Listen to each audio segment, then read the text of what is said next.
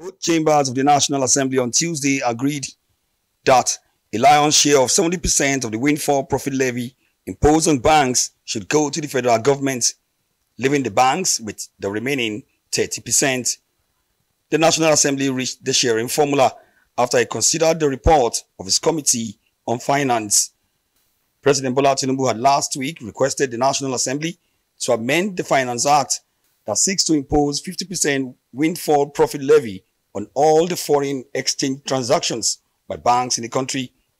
While the federal government had proposed a 50-50 sharing formula, the lawmakers increased the share of the federal government to 70%. The Minister of Finance, Wale Edun, has in the last two days led the federal government economic team to defend the windfall profit levy, which he says is primarily aimed at redistributing the surplus gains earned by banks as a result of change in government's foreign exchange policy. This is a levy, a one-time levy on the profits that were made in order to balance the benefits between the banks who happen to be in the right place at the right time and the society as a whole. So yes, it does contribute to the exchequer. It does contribute to government treasury, but that's not the main issue here.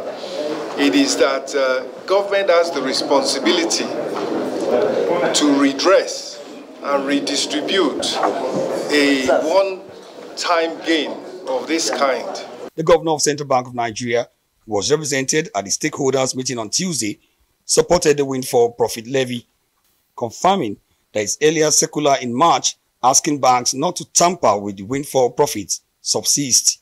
Don't have any objection for now. Yeah. For now.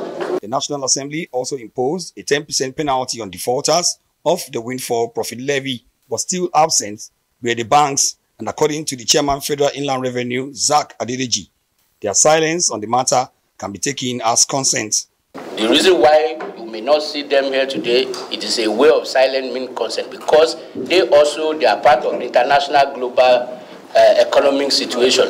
And uh, they know that Nigeria has been magnanimous, I mean, Mr. President, even to propose what we propose. Because as you've uh, alluded to in other climb, this is something that we call it proper windfall, that they have no uh, input whatsoever uh, from them to get. Meanwhile, the National Assembly approved additional sum of 6.2 trillion naira to fund the 2024 budget, raising the size of the budget from 28.7 trillion naira to 35.05 trillion naira. Additional amount required by way of this amendment. So what we are literally adding is just the 6.3 million we read last week. But once we, trillion, sorry, so when you add the 6.3 to the current budget, it will give you the figures that we just announced now, just for record, so that people will not say we have uh, a new supplementary of 35 trillion. It still remains the 6.3 trillion amendment that uh, we read last week. The breakdown shows that 3.2 trillion naira out of the 6.2 trillion is allocated for capital expenditure, while the sum of 3 trillion is for recurrent expenditure. We have passed 6.2 trillion by Mr. President, budget of renewed hope. 3.2 trillion capital, while about 3 trillion will go to recurrent. And as I said last time, this is very important and critical roads infrastructures that Mr. President want to actualize. You know, they have covered about 21 states.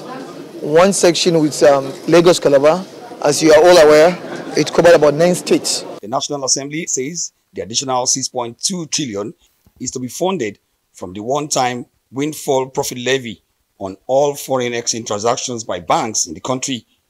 The windfall profit levy is to take effect from January 2024, with the National Assembly carefully avoiding making a retroactive law. Omo Bazwai, Rise News.